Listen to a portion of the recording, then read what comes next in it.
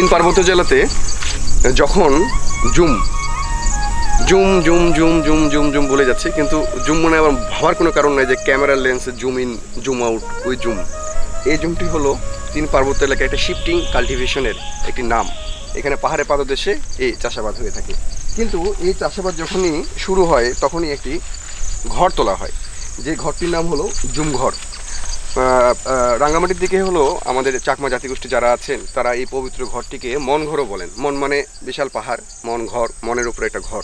আর এদিকে জুমঘর বলেন, মনঘরও বলেন, কিন্তু এই মনঘর, জুমঘর এতটা পবিত্র এই কারণেই যে যখন ফসল উৎপাদন হয়, সেই ফসলগুলো ওই জুমঘরে রাখা হয়, সংরক্ষণ করা হয়, বাছাই করা হয়, বাছাই প্রক্রিয়া শেষে ওখান থেকে তারা নিয়ে যান পাড়াতে। তার মানে হলো, ঠিক চার থেকে পাঁচ মাস পর্যন্ত তারা পুরো সংসারটি অন্য পাড়া থেকে নিয়ে ছেলে মেয়ে সহ সবাই চলে আসেন এই ঘরের মধ্যে। এবং এমনকি তাদের যে শুকর মুরগি পাড়াতে রেখে আসবেন সেটা করেন না, সেটাও সঙ্গে নিয়ে চলে আসে এখানে মুরগি আপন মনে ঘুরছে, এই ঘর ঘিরি, এই জুম ঘর ঘিরি। তো জীবনের প্রয়োজনীয় প্রত্যেকটা জিনিস যেখানে ওই পাড়াতে বা ওই বাড়িতে রয়েছে, তার আংশিক সব কিছুই এখানে তারা নিয়ে আসে। এবং এখানে অস্থায়ীভাবে এই চার পাঁচ মাস তারা জুমঘরে থাকবেন। সন্তান, স্বামী, স্ত্রী সবাই একসাথে। দেখো পড়ে যাবে। সবাই একসাথে। এখন এই যে একটি বিষয়, এই বিষয়টিকে না ইতিহাসের অনেক পাতায় কেউ কেউ লিখেছেন যে তারা হলো ভব ঘুরে। ভব ঘুরে বলেন যে তারা এক জায়গায় থাকে না, এটা বলেন, কিন্তু আসলে বাস্তবতা না, একটু বুঝবার বিষয় রয়েছে। তারা চার পাঁচ মাস বছরে তারা এরকম জুম ঘুরে থাকেন, এরকম চাষাবাদের প্রয়োজনে। তাদের নির্দিষ্ট কিন্তু জায়গা রয়েছে। এই বিষয় নিয়ে কিন্তু আমরা কিছু বইয়ে এমন কথা পাই যে তারা হলো ভব ঘুরে এক জায়গা থেকে এক জায়গায়, এক জায়গা থেকে এক জায়গায় এক জায়গায় তারা থাকে না। বিষয়টি এরকম নয়। বিষয়টি আবার কিছু কিছু ক্ষেত্রে এই রকম যখন পাড়া শিফট হয়ে যায়, এক পাড়া থেকে আরেক পাড়া তৈরি হয়, পানির সংকট হলো বা এই সংকট বা পরিবেশের প্রকৃতির এই সংকট, তখন পুরো পাড়া এক জায়গা থেকে এক জায়গায় চলে যায়। আর এই হলো জুমঘর, যে জুমঘরের মধ্যে এখানে ওই দুজন দুজন দেখছেন দাঁড়িয়ে আছে ওনার স্বামী স্ত্রী।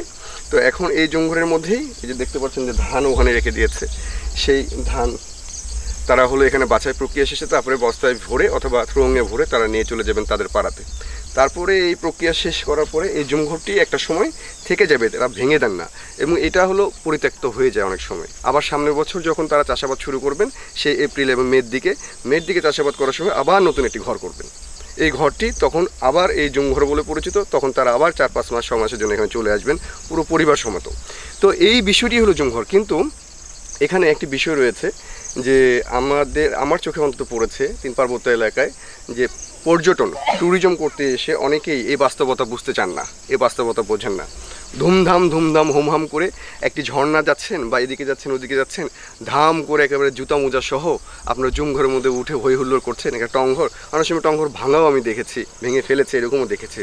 তো এই যে পর্যটকগণ, আপনাদেরকে অনুরোধ করে বলি যে প্রকৃতি দেখতে আসবেন, ভালো কথা, কিন্তু প্রকৃতি দেখতে এসে অপ্রকৃতিস্থ কোনো আচরণ করলে এই জুমঘর বা এই পবিত্র ঘরটির অনেক কষ্ট হয়। এখানকার মানুষের মনে অনেক কষ্ট হয়। এখন ভাষা যেহেতু আমরা একে অপরটা বুঝি না, সে কষ্টটাও হয়তো এই কারণে বুঝি না। আমরা মনে করেছি যে ও কষ্ট পেলে তো আমার কী হলো? অথবা ও কষ্ট যে পাচ্ছে সেটাই তো আপনি বুঝাতে পারছেন না। ইনফ্যাক্ট এই জায়গাটাই হলো একটি বড় ব্যাপার। আর পাহাড়ের উচ্চতায় এই জুমঘর শুধুমাত্র ম্রো সম্প্রদায় করে তা না, সব সম্প্রদায় করেন, সব জাতিগোষ্ঠী করেন এইরকম শিফটিং কাল্টিভেশনের মধ্যে। তবে শহর, শহরতলির মধ্যে শিফটিং কাল্টিভেশনটি আলটিমেট একটু কমে গেছে, কেননা তারা শহর, শহরতলিতে নানান রকম দোকানপাট বা ইত্যাদি ইত্যাদি, ক্রয় ক্ষমতা বা ইত্যাদি সব সুবিধাগুলো পাচ্ছেন, যার কারণে। তো এখানে যেহেতু সেই সুযোগটি নেই, যে সুযোগটি আপনি শহরতলি শহরে পাচ্ছেন, যার কারণে হলো প্রত্যেকটা বিষয়ের উপর প্রকৃতির উপরে ডিপেন্ড করে থাকতে হয়। প্রকৃতির উপরে ভরসা করে থাকতে হয়। এই জন্য বলা হয় প্রকৃতির পূজারী এবং মৃ সম্প্রদায়ে সবচেয়ে বেশি উচ্চতায় বসবাস করে এবং সেই উচ্চতাতে তারা হলো জুম চাষ করে থাকে। এবং এমন এমন উঁচু উঁচু পাহাড় রয়েছে যে পাহাড়ে উঠতে গেলে আপনার লাগবে হলো চার থেকে পাঁচ ঘণ্টা অন্তত আমার পায়ে। এইরকম। কিন্তু তারা গড়গড় করে উঠে যাচ্ছেন। আবার পানি আনার জন্য নিচ থেকে যাচ্ছেন কারণ পানি পাহাড়ের উচ্চতায় থাকে না। পানির প্রয়োজনে আবার নিচে যাচ্ছেন, নিচ থেকে পানি নিয়ে আসছেন, পানির প্রয়োজনীয়তা মিটছে। এই বিষয়টি এই বিষয়টি অনেকে কমেন্টসে বলেন, তো আজকে আমি এই বিষয়টির মধ্যে দিয়ে হয়তো আপনাকে বুঝতে পারলাম যে জুমঘর একটি পবিত্র জায়গা। প্রকৃতি প্রকৃতির মতো বাঁচুক, প্রকৃতিকে বাঁচাতে হবে এবং পাহাড় পাহাড়ে পাতা দেশে মানুষ ভালো থাকলে বাংলাদেশ ভালো থাকবে। বাংলাদেশকে ভালো রাখতে হবে আমাদের প্রত্যেকের সবাই। এ পর্যন্ত এখান থেকে।